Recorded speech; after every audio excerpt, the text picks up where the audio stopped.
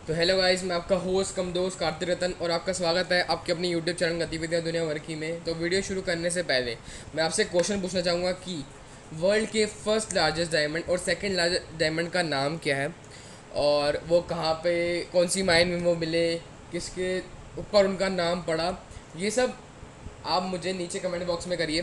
तब तक के लिए आगे बढ़ते हैं और वीडियो शुरू करते हैं, बिना किसी रॉक टॉप की।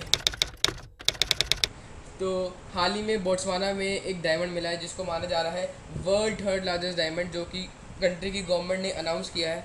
तो ये जो डायमंड है, ये है 1198 कैरेट का स्टोन जो है और इसको प्रेजेंट किया वहाँ के प्रेसिडेंट मोग विटसी मैसीसी ने वेनसडे को, यानी कि 16 जून 2021 को। और जो कंपनी की वेबसाइट है ऑफिशियल उसने बताया कि डिस्कवरी हुई है अर्लियर इन दिस मंथ और ये मिला है ज्वेलन माइन से, जो कि है 70 माइल्स दूर कंट्रीज़ की कैपिटल गैब्रॉन से। और इस माइन को ऑपरेट कर रही थी कंपनी डेप्सवाना जो कि एक डायमंड कंपनी है, जिसको दो जनों ने ओन कर रखा है। मतलब ये एक और एक, इसका जॉइंटली अकाउंट जो है, एक अकाउंट है बोट्सवाना गवर्नमेंट के पास खुद और एक है द डी बियर्स ग्रुप के पास। और जो गवर्नमेंट है ऑफिशियल गवर्नमेंट ने ट्विटर पे लिखा कि ये जो डायमंड की मिला है, ये इनको हेल्प करेगा। तो इनकी एडवांस नेशनल डेवलपमेंट कंट्री की बढ़ाने में। तो बेसिकली जो ज्वेलरी माइन है इसके बारे में थोड़ा ब्रीफ देता हूँ कि ये माइन ओपन हुई थी 1982 में। और इस साल ये बता रहे हैं कंपनी की ऑफिशियल वेबसाइट ने ये बताया कि इस साल जो ये मिली है, इस साल इनकी 12.5 मिलियन से लेके 15 मिलियन कैरेट्स के डायमंड मिले हैं इस साल। और यानी जो ये मंथ था, इसमें मिला है largest gem nineteen sixty seven के बाद से, ये गवर्नमेंट ने कहा है यहाँ की। उसके बाद ये देख लो, ये डेप्सवाना साइड पे दिया गया है कि ये जो डायमंड है, ये 73 मिलीमीटर लॉन्ग है 52 मिलीमीटर वाइड है और 27 मिलीमीटर mm थिक है। ये जो बिगेस्ट डायमंड था, वो डिस्कवर हुआ था three thousand one hundred six carat का क्विलिनन डायमंड, जो कि साउथ अफ्रीका में मिलता है नाइनटीन फाइव। उसके बाद ये है, बोट्सवाना की जो मिनरल्स मिनिस्टर हैं, लेफोको में होगी वो कहते हैं कि अभी इतना बुरा टाइम गया हमारा। मतलब पेंडेमिक की वजह से जितना बुरा टाइम गया तो ये डायमंड हमें उसको रिकवरी करने में काफ़ी मदद करेगा। अब वीडियो की शुरुआत में मैंने आपसे क्वेश्चन पूछा था कि वर्ल्ड के फ़र्स्ट लार्जेस्ट डायमंड और सेकेंड लार्जेस्ट डायमंड का मुझे नाम बताइए और थोड़ी बहुत उनके बारे में डिटेल बताइए।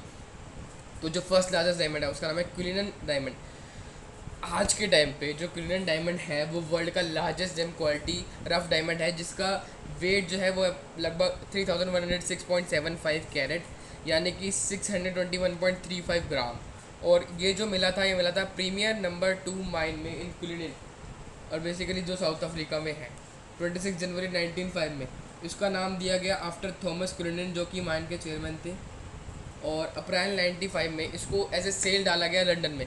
लेकिन इसके इतने ज़्यादा इंटरेस्ट होने के बावजूद भी ये दो साल तक नहीं बिका। तो इसको 1907 में जो ट्रांसफ़र कॉलोनी गवर्नमेंट ने खरीद लिया क्लिनन को और इसको दे दिया एडवर्ड सेवन को, जो कि किंग थे यूनाइटेड किंगडम में। के उस, उन्होंने दे दिया Joseph Asscher and cooperative in Amsterdam को ताकि वो उसको कट कर सके बेसिकली तराश सके।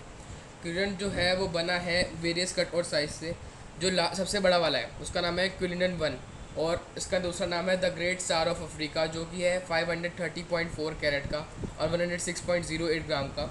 ये लार्जेस्ट क्लियर कट डायमंड है वर्ल्ड का और इसका स्टोन जो है वो लगा हुआ है in the head of sovereign sceptre with cross second largest जो इसके कट में से निकला था वो था क्लिनन सेकंड जिसको कहा जाता है the second star of Africa इसका वेट है 300 100 317.4 कैरेट्स यानी कि 63.48 ग्राम।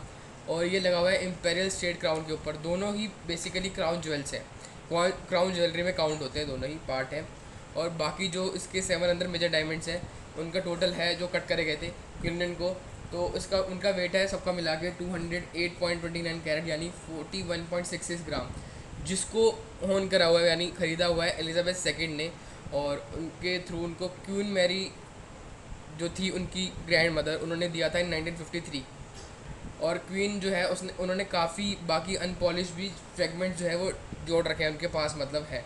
ये है हमारा क्यूलिनिंग जो पूरा था ये। इसके बाद जो वर्ल्ड सेकेंड लार्जेस्ट डायमंड है तो बेसिकली जो फ़र्स्ट लार्जेस्ट डायमंड था, वो क्लिनन वन फिर सेकेंड तो लेकिन उसके बाद, वो तो सब कट्स हैं, लेकिन उसके बाद जो माना गया है, वो ये है लेसेडी लारोना जो कि इसको मीडिया में बुलाते हैं करोवे ए के सिक्स या और, या फिर क्वाड वन जो कि पर्सनल पर मिला था और ये इसको माना जाता है fourth largest diamond ever found और third largest gem of quality और ये मिला था करोवे माइन में, जिसको ए के सिक्स भी कहा जाता है, इन बॉट्सवाना भी बॉट्सवाना में मिला था सिक्सटीन नवंबर 2015 में।